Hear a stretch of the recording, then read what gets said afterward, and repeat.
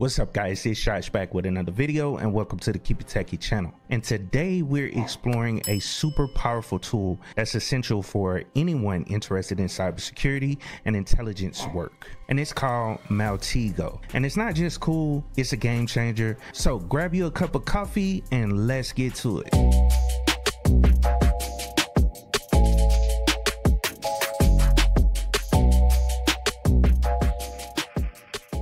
So, what is Maltego all about? It's a visual link analysis tool that help you uncover, visualize, and understand the connections within data sets. So, whether you're tracking down security breaches or just love digging through data, Maltego makes it easy with its intuitive design. Now, it's widely used in cybersecurity tasks like gathering information about potential threats or vulnerabilities. And Maltego excels with its ability to integrate transforms. And these are plugins or extensions from various intelligence, internet, and cybersecurity companies. Now, some of these are free, others are paid, but all are incredibly useful. There are big names in it like CrowdStrike, AlienVault, and even Google's Mandiant or Porta of the ecosystem, offering their unique plugins to enhance your OSINT investigations. So now that we know what Maltego is, let's go down and hop over to my virtual machine so I can walk you guys through the process of getting it set up on your Kali Linux box so you can start using it for your OSINT investigations. Let's get to it. Before we move forward, I wanted to give a quick shout out to CIQ,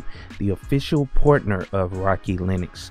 Rocky Linux is a Linux distribution that is intended to be a downstream complete binary compatible release using the Red Hat Enterprise Linux operating system source code. The project is led by Gregory Kurtzer, who was the founder of the CentOS project. So check out Rocky Linux at CIQ Co. All right, so I'm logged into my Kali Linux box. This is a virtual machine, but let's go down and show you guys how to get Maltego set up. So all you have to do is search for it right fast under our tools, but you'll see Maltego installer. If this is your first time opening it up, it'll open up the terminal and basically will install Maltego package as well as all its dependencies. So let's go down and type Y, press enter. It's gonna ask you for your sudo password, press enter. And it typically doesn't install it it when you first install the operating system. So you may have to install it once you got the system set up. You can find that installer link if you search under your menus. And then once it's installed, you don't have to worry about it anymore. It'll stay installed on the system. As you can see, it didn't take too long by me just talking for a couple seconds. It installed it as well as all its dependencies. It says press enter to finish. So let's go down and do that. And now let's go down and open up Maltego now. So if we type it in, you'll see that the link has changed. It basically says Maltego. This is the actual application. Now it's installed on the system. And it may take a couple seconds to open up because it has to, you know, load all the modules and everything that's associated with the application. Now let's go to make it full screen so you guys can check it out. And the first thing that'll pop up is the different versions of Maltego. You'll see Maltego 1, it needs an activation key. They want you to pay for it. And this is for enterprise users or people that work in the profession. Most likely organizations will provide you with a key. They may have purchased, you know, a group of keys for Maltego while working in the field. Now you got your Maltego XL. This comes with a little bit more and it all depends on which one you purchase, depends on the amount of tools that come along with Maltego. There are two different free versions and I wanted to show you guys that right fast. So the CE, which is the community edition, this is the one I want to run, but I wanted to at least show you guys the Maltego case file. So this is another way of running Maltego. We're gonna use that community edition. You don't have to purchase a key to use it. You just don't have access to a lot of tools. Now, this is the process of actually configuring Maltego. And so right here is the license agreement. You scroll through this, hit the accept button, hit next. This will go through and allow you to log into your account if you already have an account. If you don't have an account, you want to hit the register here button. This will allow you to create a Maltego account and I recommend you going on and do that. Well, that's the only way you'll be able to use the application is if you have an account. So go through the process of setting up that account and then log in. Now, I already have an account, so I'm gonna just type in my information and skip ahead. All right, and so once you logged in, it'll just basically check your login results, just verifying that you do have an active account with Maltego. So I kind of skipped that step. So this was the login, then the login results. And now the next thing is install transforms and it will complete, it'll download everything for your system, you know, icons, all that stuff for the transforms you can install on the system. So let's go and hit next. There it'll say help improve Maltego. You can uh, agree to that or not by clicking this checkbox and then your web browser options. So you use the default system browser, which is Firefox. It should be Firefox on Kali Linux yeah as you can see right there but you can specify it or you can use the default. So if you ever do change your default to something else it'll automatically switch to that one. I'm gonna just leave it at firefox that's fine.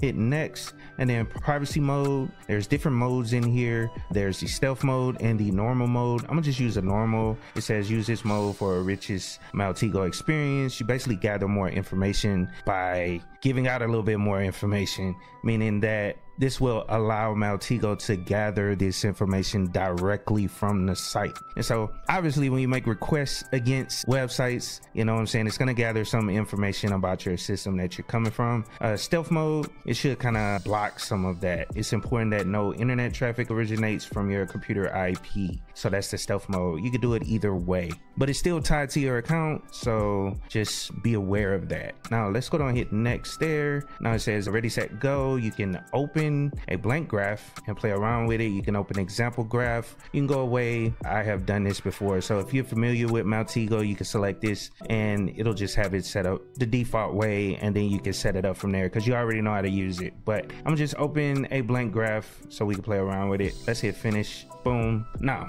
here's a privacy policy notice so just go down hit acknowledge there. But this is essentially a new graph based on the transforms we have currently. Now if we go back to the home page. This is kind of what i wanted to show you. On the start page there's a lot of information right here on the left hand side. And actually let's just kind of break it out for you. This is the release version 4.7.0 for maltego desktop client and here's just some information about Maltego in general. You can learn more. You can check out live trainings, you know, webinars, all that stuff. It'll be right here on this start page. And then over here is the Maltego Transform Hub. Now, this is your bread and butter when it comes to Maltego. This allows you to access a bunch of APIs on the internet. Now, a lot of these APIs are You have to pay for them. But there are a few free ones out there, and I'll show you guys that once we get to it. And let's start up here at the top, but you have access options, and this is how you can filter out those free APIs, data categories. So if you want to look for specific categories of data, so let's say you want to look for phishing, recon, social media, breaches, leaks, this will just filter out the transforms at the bottom. And these are all the partners down here at the bottom, transform partners that have information out there that you can essentially query because essentially all you're doing is accessing a bunch of databases on the web just to kind of make it in simple terms. But let's go to free right fast, not data subscription, but free APIs. Just want to show you a few of them. It's only really a couple that you can look at for free. Now, let me uncheck that right fast. One of the ones I wanted to show you guys was Have I Been Pwned? So let's type Have I Been Pwned or have, and it'll bring it up right here. We can install it. I just want to show you guys how to install a transform. So so let's install that and hit yes. Boom it'll download terms and conditions you know all that good stuff. And like i said this all this stuff is tied to your account. So just so you know and let's go back over to our graph that we created. So over here this is your entity palette. So you want to search for basically whatever you want to look for. And let's type email in here. So email address and let's drag this entity into here. And what you want to do is modify what this is. So if you click on it and you can type in whatever email address you want to look for. So and then also you can go over here you can modify it as well. I just double clicked on it, but you could modify the email address you want to look for. And let's just go into, I don't know, I'm gonna use my Keep It Techie email address. So Keep It Techie at gmail.com. And let's go down press OK. It'll update that. And then we can go in and right click on it and you'll see the transforms pop up here. So all transforms, uh, standard transforms, the community edition, or you can click the one we downloaded and installed, which is ha Have I Been Pwned. And all you have to do is click the little arrow and this will run all under Have I Been Pwned. And you'll see it popping up. So it'll pop up and it'll run through and check if this email address has been listed in that database for Have I Been Pwned. And you can click in here and see a little bit of the information about it. So Have I Been Pwned? Let's click in there right fast and it looks like we got an error there so it says it exceeded rate limits and that kind of sucks that it didn't fully check because it exceeded the rate limits of the API. So, and then plus we're using a community edition. It's kind of hard to, you know, see, but you get the idea of what it'll do. You could search, you know, whatever transform you have and see if it has any information on it. Now, let's say we didn't find what we wanted, but let's uh, right click on here. We can run all transforms if you want to. And actually, let's go down and go through it right fast. I'm gonna just leave all its defaults and then run it. And let's see what we get for that email address period. And you'll start seeing a whole lot more information popping up in here. And this email address is fairly new. It hasn't been around too too long but you'll start to pull a little bit more information. So let's see gmail. So it's letting you know it's a gmail account relationship. Let's see what we got here? This will just kind of let you know that that email address is valid. Let's click in here and see what we got here. It's not listed in have i been pwned? This is that error exceeded the number of you know issues let's see what this is. Indicates the email is from a common email provider gmail yahoo. Okay so this information could be interesting. Let's click on here and see what this says. And not much information there as well. So now this kind of shows you how to look at let's say just an email address. We can go in here and actually delete this email address. So and we can delete all this. I mean i should have deleted all of it. You can hold shift and delete pretty much everything from the graph. That way we can kind of start over. So let's say we want to look for a person and all we have is their name. So let's type a person in here and we could grab this entity, drag it in there just like we did with the email address. And let's zoom in a little bit so you guys kind of see what it looks like. But if you click on it, you can go down here and modify the property. So let's say you want to look up, and I'm gonna use somebody like super famous and that's Elon Musk so we could type that name in there because we shouldn't have any issues looking up any like celebrities or anything like that. We shouldn't run into any problems. And you want to make sure you run this against things that you have permission to. But when you're running against celebrities, there a lot of their information is already out there. So you don't have to really worry about it.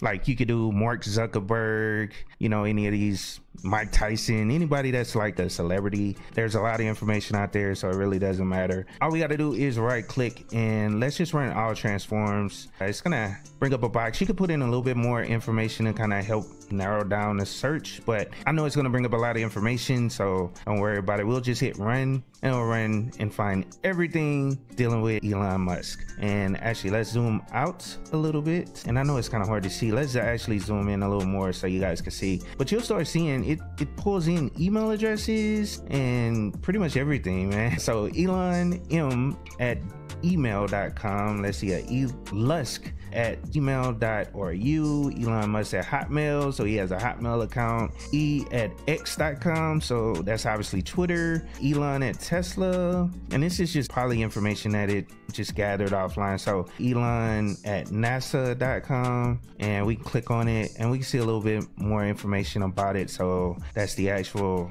details, you know, you can check it out right there and see all the information that's gathered about that email address. There's a public PGP key right there. That's cool to actually see what's generating too. Like I said, you can gather a lot of information from this. You know what I'm saying? And then one cool thing, once you find like, I don't know, an email address that's interesting that you want to look a little detailed or more detailed into, let's drag it off to the right a little bit. See if we can drag it. Drag it out to the right. Let's say this is interesting. And let me move it over here. And let's run a transform against that email address. Press run. I'm just kind of trying to show you, you know, how to do more detailed searches and I actually moved it over to the right. So let's, let's bring this thing over here and boom. So we looked into that elon.musk at hotmail.com. There's a have I been pwned down here. Let's see what we got. So elon at gmail.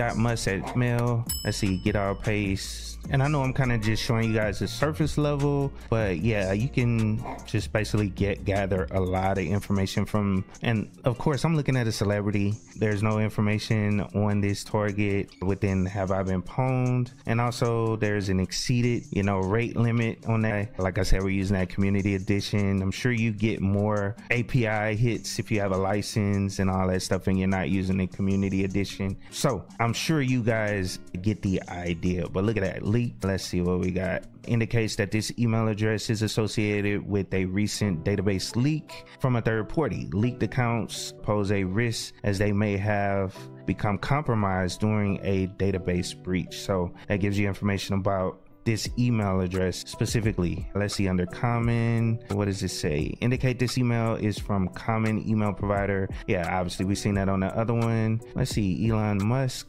right here. So that just goes back to the name of Elon Musk. So if we would have searched this email address first, it would have brought up Elon Musk, which is what we looked at up here at the top when we first started. See, Elon? And so basically we just routed right back to him. So we know for sure that this is Elon Elon's email address. That's if someone isn't using, you know, that name on Hot, which you never know because it is being used by a service provider like Yahoo or Hotmail. All right, so that wraps up my video on Maltego.